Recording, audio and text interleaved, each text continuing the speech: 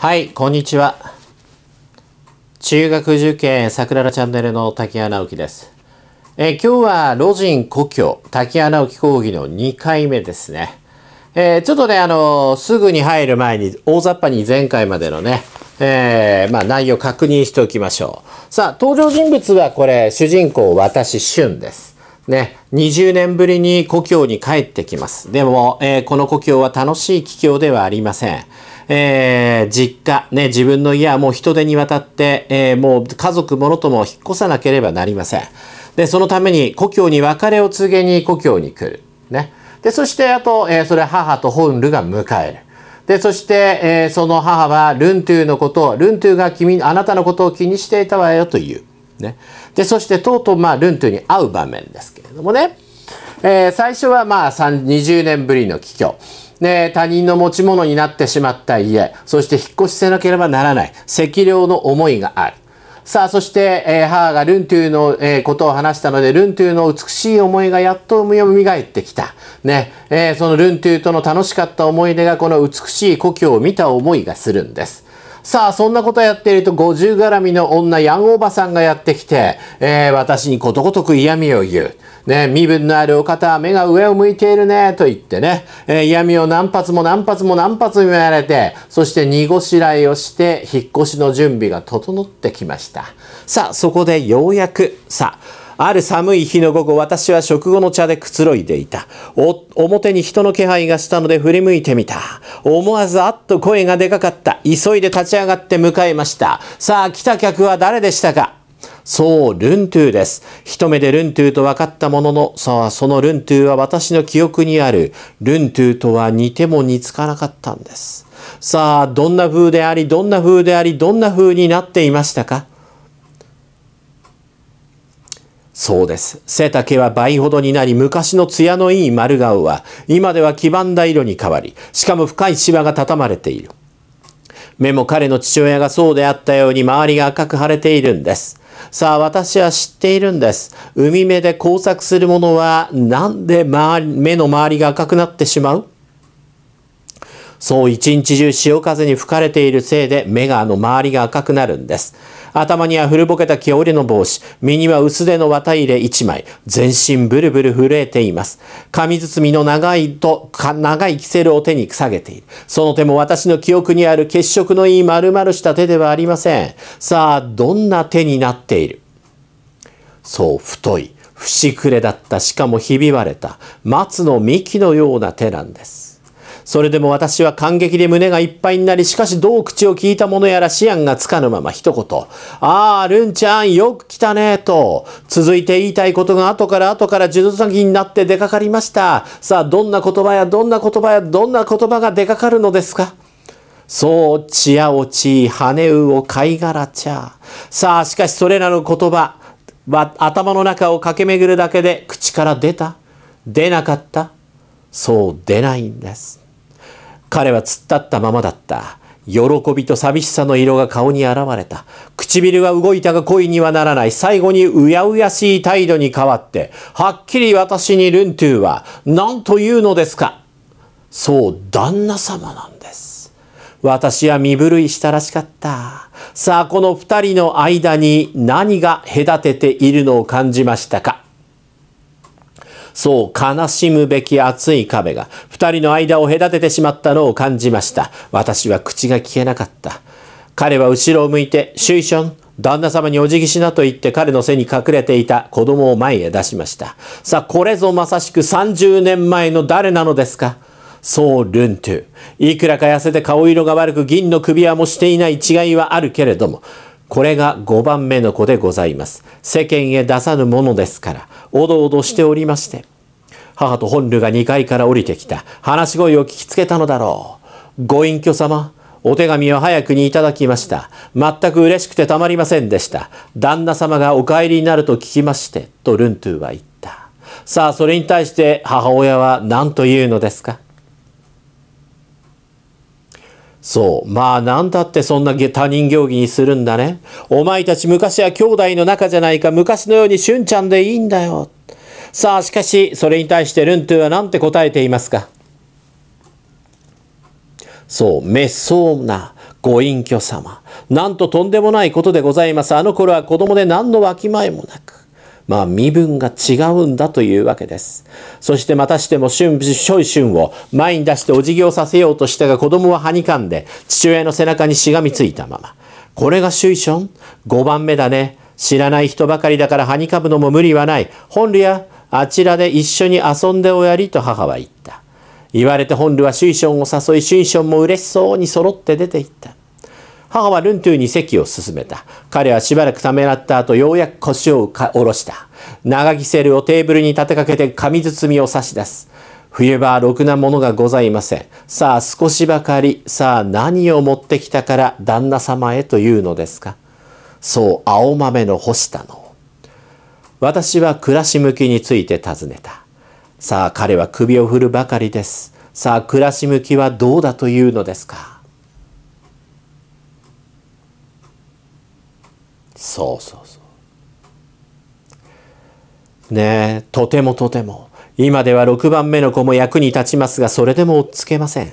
世間は物騒だしどっちを向いても金は取られ放題。決まりも何も作柄もよくがよくございません。作ったものを売りに行けば何度も税金を取られて元は切れるしそうかといって売らなければ腐らせるばかり。首を振り通しである。顔にはたくさんのシワが畳まれているがまるで石像のようにそのシワは少しも動かない。苦しみを感じてはいてもそれを言い表す術がないようにしばらく沈黙しそれからキセルを取り上げて黙々とタバコをふかす。母が都合を聞くと家に用が多いからさあいつには帰らなければならない？そう明日帰らなければならない。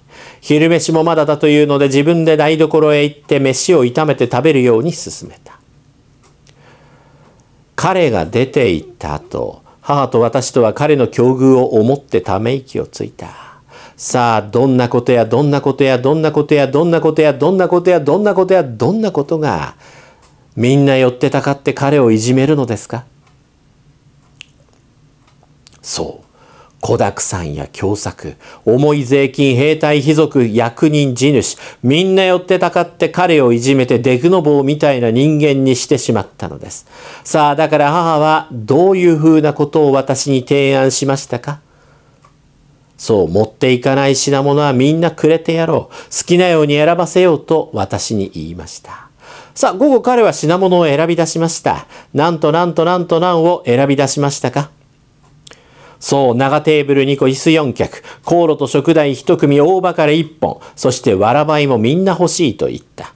さあ、その灰は燃料とともに砂地の肥料になるものです。私たちが旅立つ時来て船で運ぶと言いました。夜はまた世間話をしました。取り留めもない話ばかり。あくる日の朝彼はシュイションを連れて帰っていった。それから9日後、私たちの旅立ちの日です。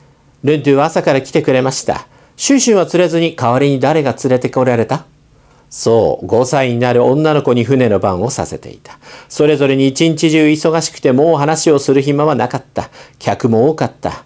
見送りに来る者、品物を取りに来る者、見送りがてら品物を取りに来る者。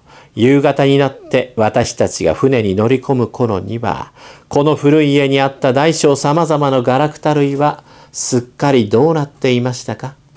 そうすっかり片付いていた。さあ今度最後の場面。船の中です。船はひたすら前進します。両岸の緑の山々は黄昏の中で薄墨色に変わり次々と線尾に消えた。私と一緒に窓辺に持たれてくれていく外の景色を眺めていた本ルがふと問いかけたのです。さあ本ルは私に何を問いかけましたか？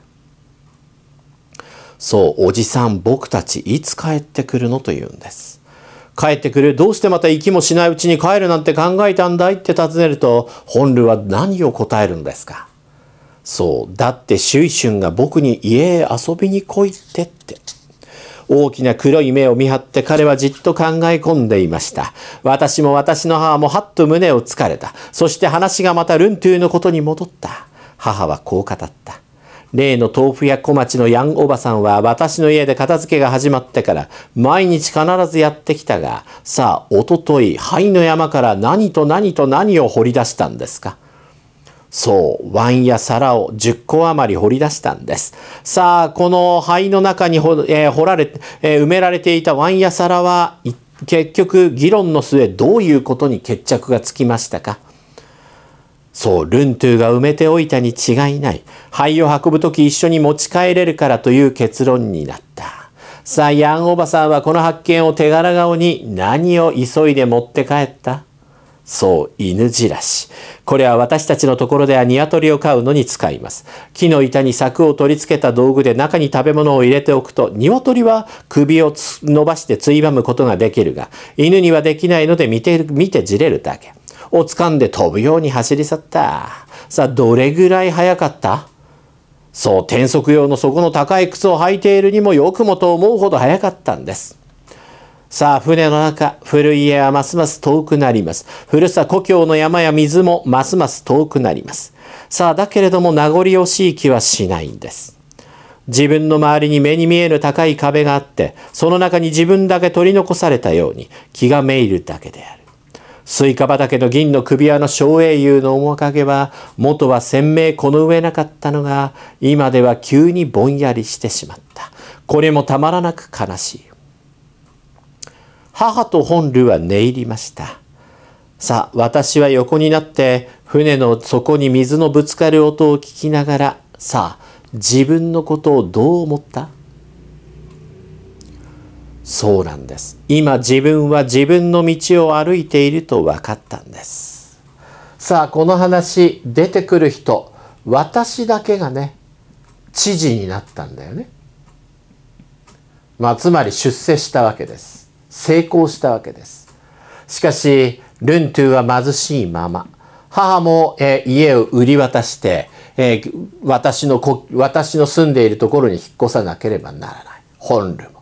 そして周囲春も、そしてヤンおばさんも、えー、決して裕福とは言えないんだよね。私だけが、えー、自分の道を歩くことができているんです。他の人はいろいろと大変な思いをしながら生きているんです。思えば私とルントゥーとの距離はさあどうなってしまった？そう全く遠くなった。さあしかし若い世代は今でもどうなっている？そう、心が通い合い、現日本ルは周春のことを慕っています。せめて、彼らだけは私と違って高いに隔絶することのないように。とは言っても彼らが一つ心でいたいがために私のように無駄の積み重ねで魂をすり減らす生活を共にすることは願う願わないそう、そういうことは願わないのです。さあ、また、ルントゥのように打ちひしがれて、心が麻痺する生活を共にすることも願う願わない。そう、ルントゥの方にも、ようにもなってもらいたくありません。また他の人のように、やけを起こして野放図に走る生活を共にすることも願う願わない？そう、やけを起こしても欲しくない。希望を言えば何が希望なんですか？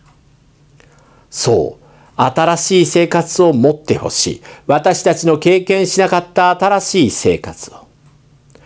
希望という考えが浮かんだので私はドキッとしました。確かルントゥが航路と食材を所望した時私は相変わらずの偶像崇拝だな。いつになったら忘れるつもりかと心密かに彼のことを笑ったものだが、今は私の言う希望もやはり手製の偶像に過ぎぬのではないか。ただ彼の望むものはすぐ手に入り、私の望むものは手に入りにくいだけだ。まどろみかけた私の目に、海辺の広い緑の砂地が浮かんでくる。その上の紺碧の空には金色の丸い月がかかっている。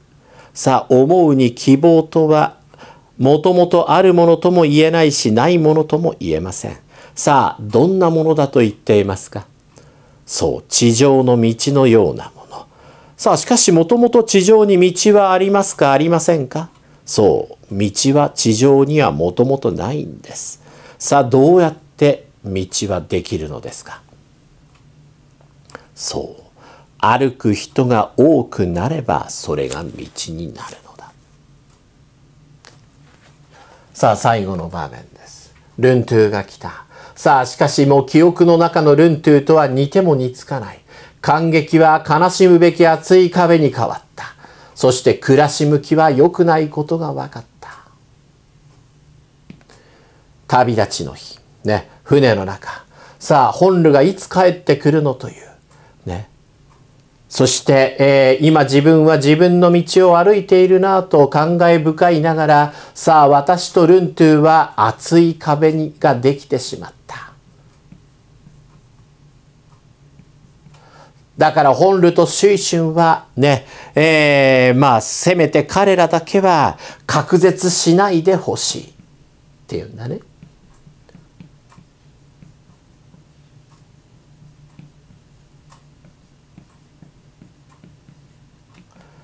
せめて新しい生活を二人は持ってほしいというんです。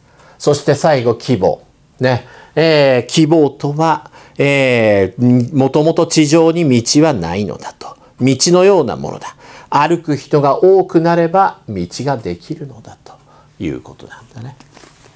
いいなと思ったらチャンネル登録、メンバーシップお願いします。老人、滝川直樹講義。今日はここまでにしましょう。